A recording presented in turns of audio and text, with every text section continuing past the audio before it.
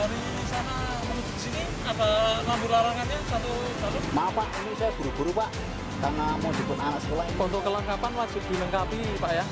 Jadi kalau Bapak ke mana-mana wajib membawa surat-surat untuk identitas Bapak maupun kendaraan Bapak. Hmm, Minta tolong Bapak ini Pak.